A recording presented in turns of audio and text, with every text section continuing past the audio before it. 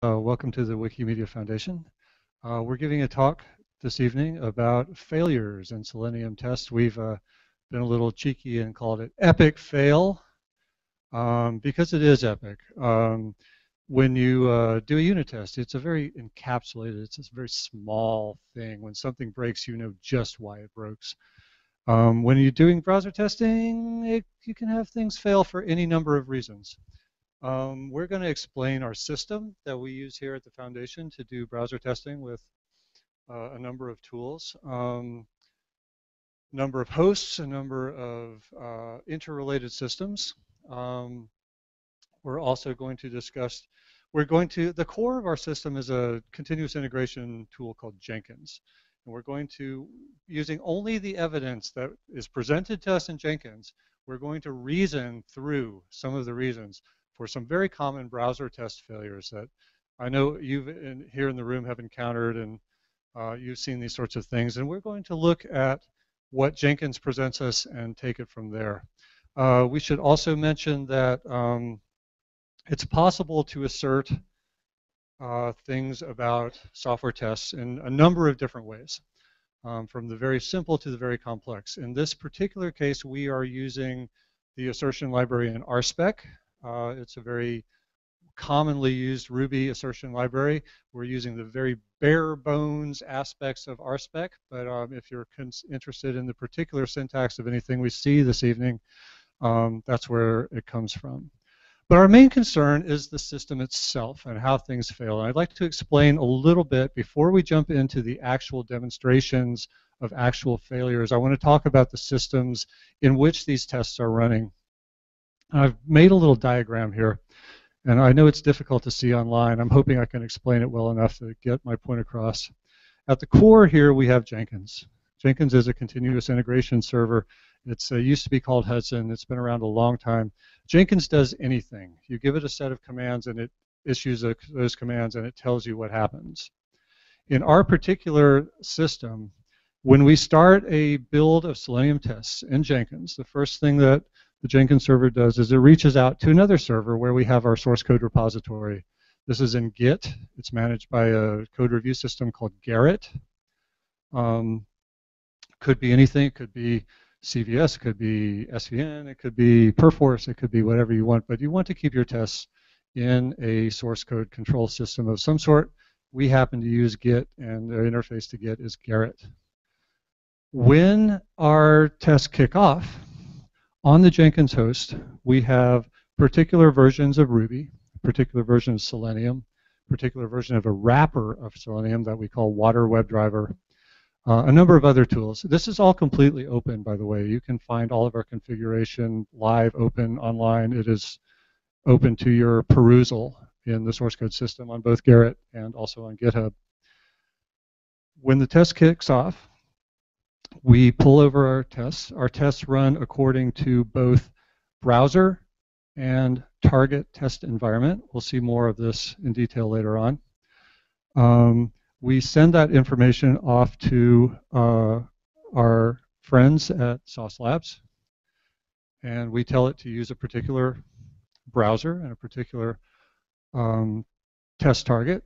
Sauce Labs spins up a virtual machine on command that is running Firefox, Chrome, or some version of Internet Explorer. And we will point our tests to one of several test environments.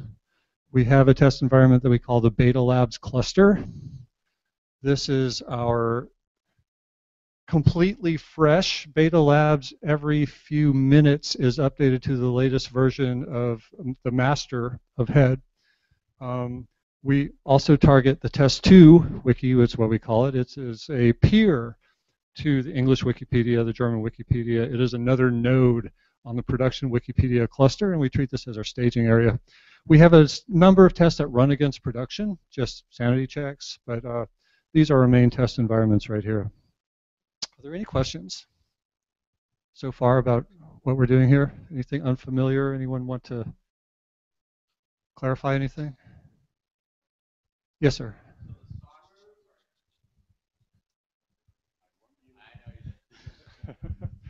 Thank you.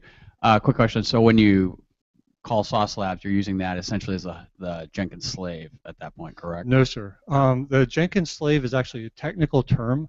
If you, you can have multiple instances of the Jenkins servers, and one Jenkins will report back to the other Jenkins. We have only one instance of the Jenkins uh, tool running right now. What this means is that Sauce Labs provides an API and you you call that API with a number of different parameters. Your your user, your password, your um, uh, Željko would know more details than I would. Um, you can follow up with him at the time. But there's a number of parameters that uh, Sauce Labs API accepts, and when you send it a well-formed request, it just operates on that request. So it is not, in that sense, a slave to Jenkins, it is a two-way communication over the Sauce Labs provided API.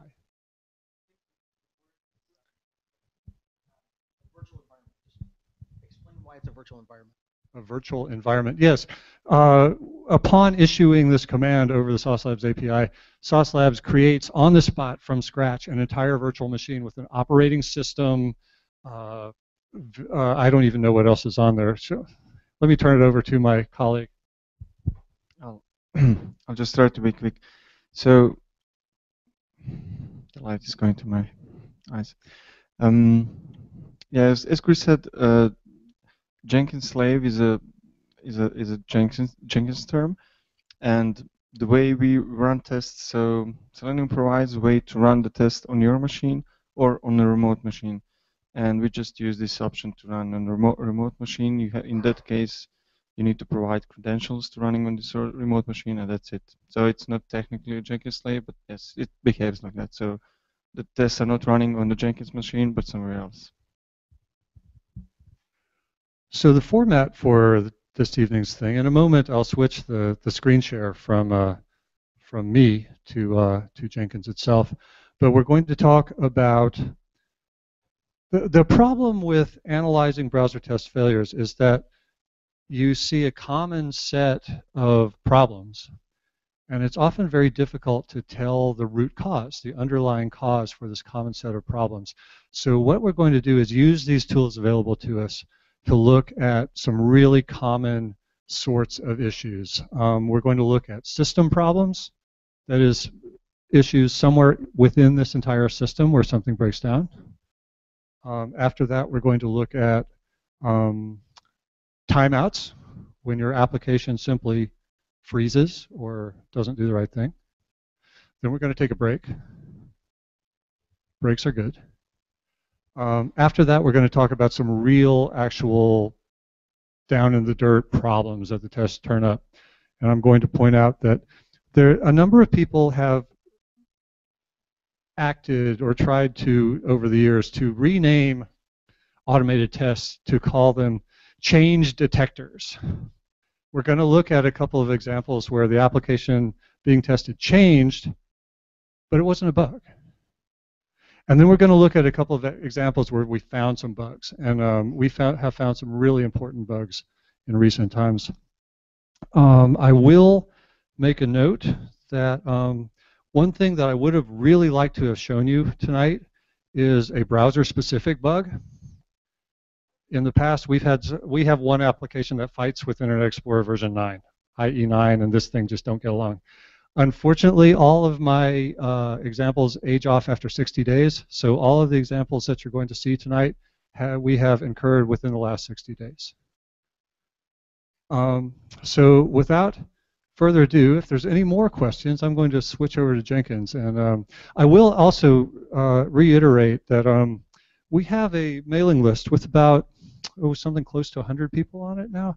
It's really high signal, it's really low noise. If you're interested in these sorts of issues, um, there's some really, really smart people on the, if you look at lists.wikimedia.org and just go down the list and find QA, uh, it might be worth your time. So let me switch over to the Jenkins view and we'll start talking about system failures.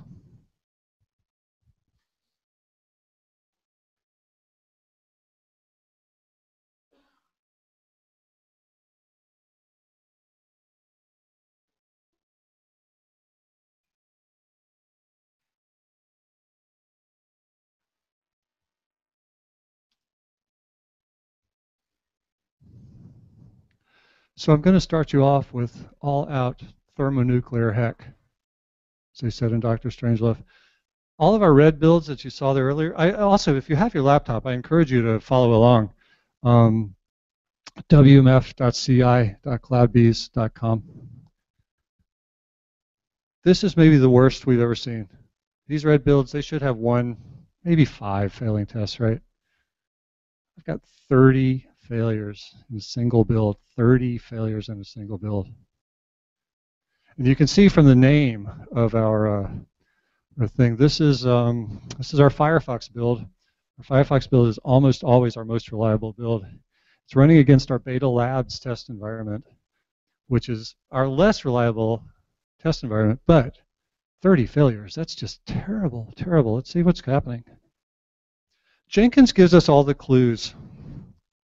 It, it is all the links to all the things that we need to see. What Sauce Labs tells us, Sauce Labs, you were asking about Cucumber earlier. Cucumber tells us exactly what's going on in the test. We can actually see that I'm at a new pages feed, and I should see this link, and I should see this link, and I should see an icon, and I should see a button, and we can see that it timed out looking for a really simple link. So of course this is, I was a little worried when I saw this right offhand.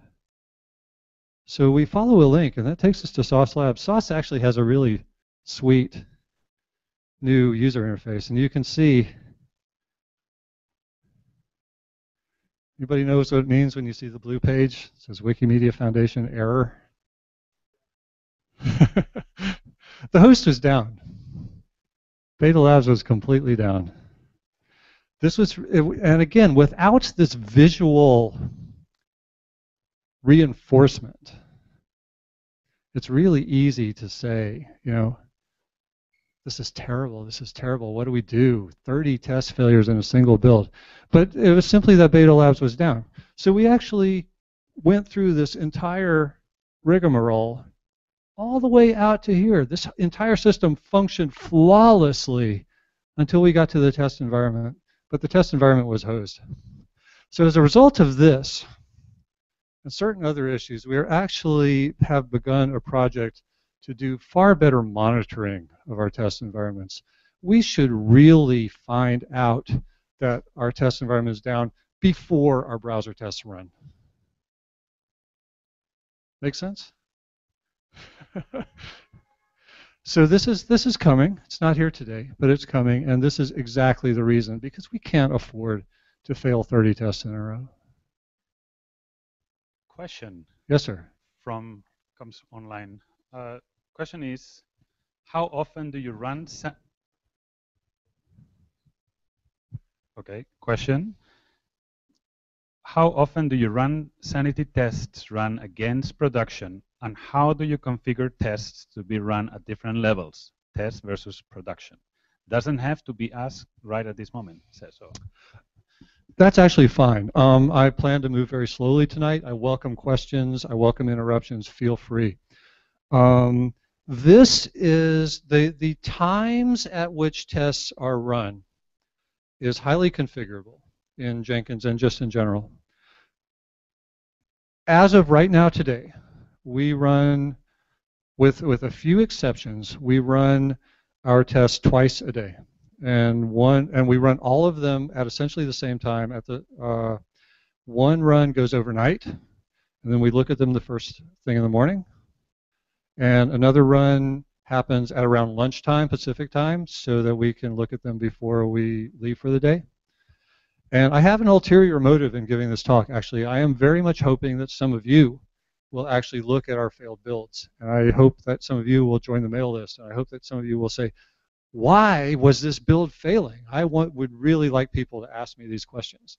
I would really like people to look at our failed builds from the community and see and, and think very carefully and ask good questions for me and for Željko and for the rest of the foundation. Why are these builds failing? failing? And what can we do about it and what can we learn from it?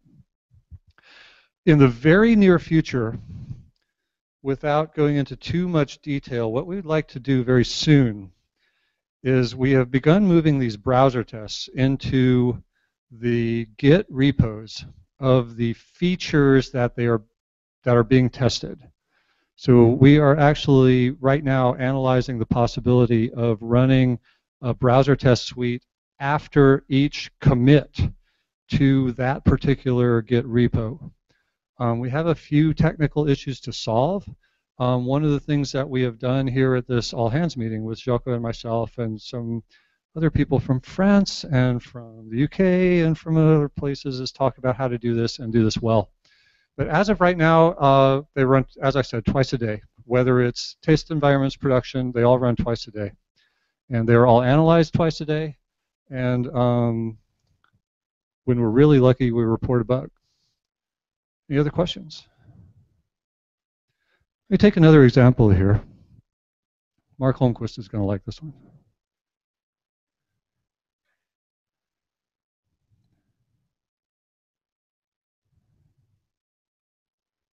Oh, I will also point out that the, the root cause of this failure of the entire uh, test environment being down was it was on a file system that was, the file system itself was NFS, and we did a really poor job of managing NFS.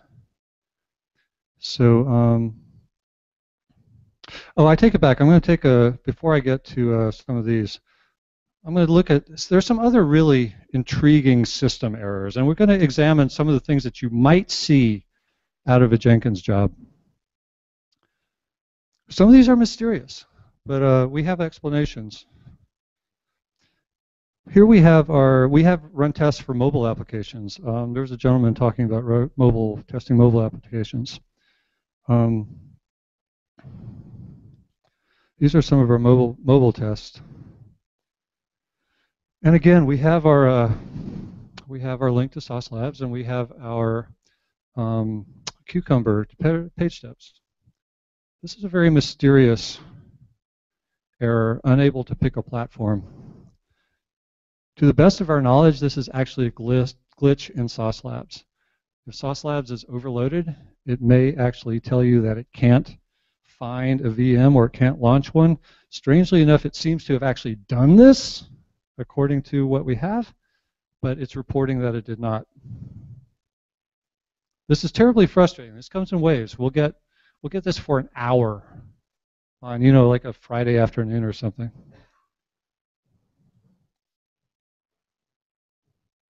I'll show you one more mysterious one. Also frustrating. See, we let it all hang out here at the foundation. We got no secrets. Um, we'll show you our mysteries because we like to help, like all the help we can get. This one is perplexing. The build is red. The test result has no failures. So what do you do here, right? You've got you've got no cucumber steps. Okay, what have you done? You've got no cucumber steps you've got no error message. Jenkins gives you a thing. Jenkins actually is pretty smart. Um, as I noted here, Jenkins runs on its own host, and it runs Ruby and Selenium on this host. And Jenkins, conveniently enough, logs the console output for every run of every build. And you can see we correctly actually find all of the tests to be run. We load them up we attempt to run them, and then Jenkins is telling me that the host that it runs on, it, it's going to shell out to execute these tests, and whatever happened on that host returned a non-zero result. This is, again, one of the pitfalls of working with uh, hosted services. Our Jenkins host runs on a service called CloudBees. And um, from time to time, the CloudBees host will, in fact, give us a non-zero result for a, a shell command. Again, it's terribly frustrating, but also, again, with a system this complex, it's something you have to expect from time to time.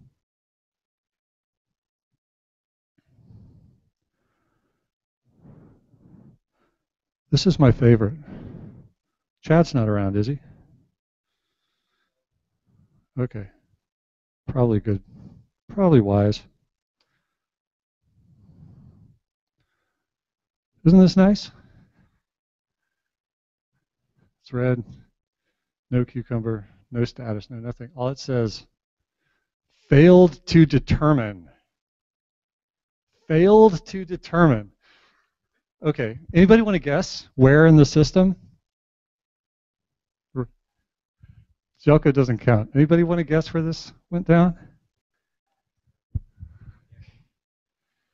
Uh, hang on a second.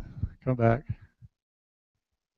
Console output. Console output is your friend. The requested URL returned error 503, service temporarily unavailable from Gerrit. Gerrit was down for a while. and So if you can't pull your tests, you can't run your tests, can't crank up a VM because you've got nothing to feed your API.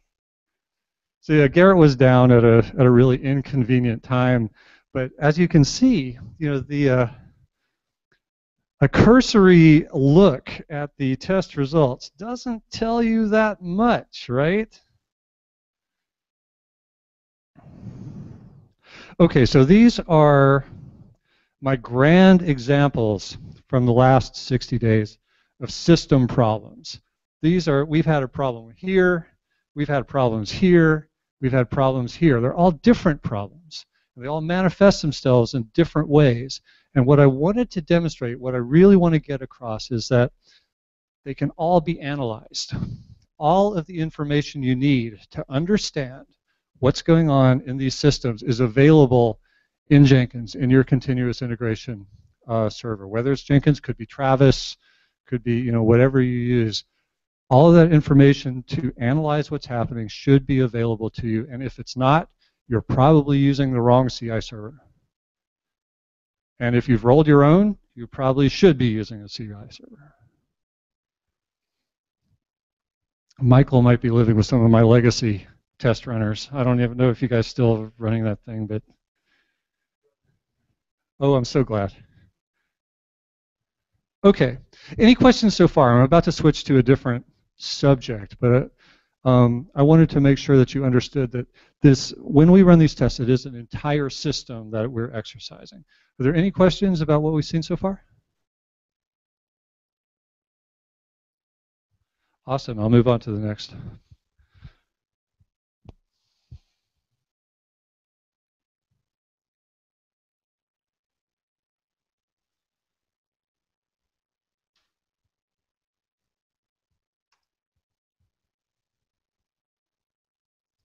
Excuse me one moment.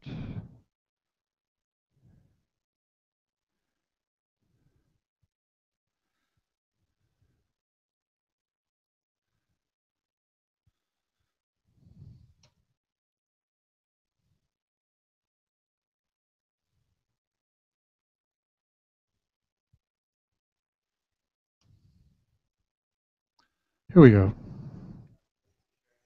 Oh, it's dropped. Okay.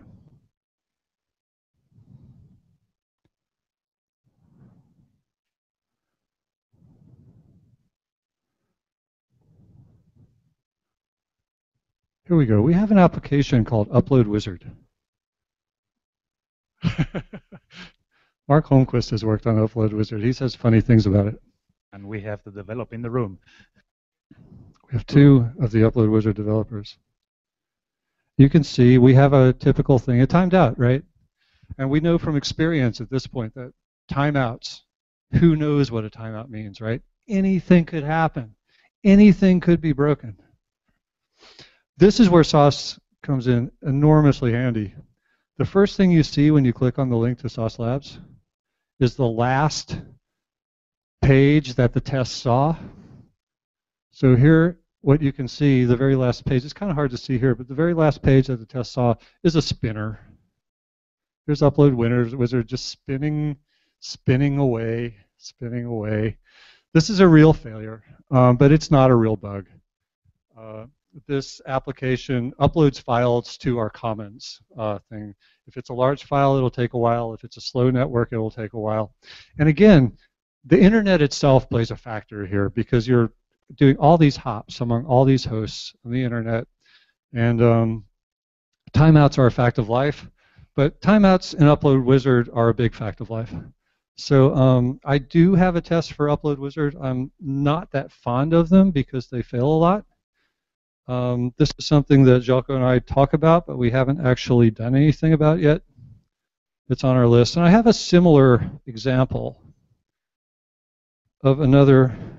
Also, I should also mention that if you're if you're interested in the source code for these tests, the Upload Wizard test is rather a masterpiece, if I say so myself. It does some really remarkable things. It was one of the first tests that Željko works on, worked on. It logs in with a secret password. It generates a uh, image file on the fly of a random nature. It uploads this file. It checks that the upload worked. It's really a rather remarkable browser test because it involves a file system and it runs consistently on Linux, Mac, and Windows. So um, it's pretty slick if you're interested in these sorts of things. The source code for, for the upload wizard test is, is really remarkable, and Željko is the, the architect of that. Um, does some fancy DOM manipulation, as I recall. It's a yes, it does.